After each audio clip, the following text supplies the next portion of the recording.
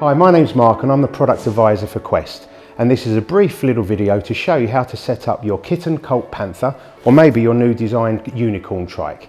All we're going to do is just connect both the front and the rear together. And we just keep that together with a black handle. There's even a little note that says insert lever this side so you never forget. If your handle is at a difficult angle, then you can just pull it out and twist it around to a desired angle, that's absolutely fine. This is for your rear steer, the rod.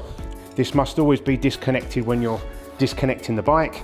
Um, it's very easy to do, it doesn't matter which way that you place it, but it's on a quick release mechanism. So we just put that over the node at the middle, just hold it over and do the node at the front.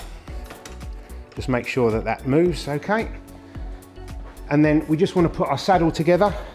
Now you may have the thoracic part, you may only have the hip part, it doesn't matter. And we just slide that into the saddle post. Make sure that the nose is nice and straight because we don't want it to be off center. And with the quick release lever, we just bring that over and that locks it together. Now, because of packaging, your handlebar won't be completely straight.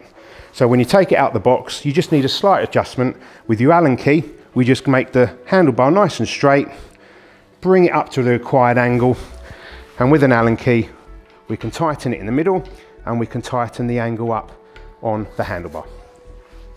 This leaves one more thing to do, which is your rear rod feature. All we do is just marry up the holes, slide it onto the post, and with the lanyard pin, we just connect it. And that is your quick and easy setup of your brand new trike.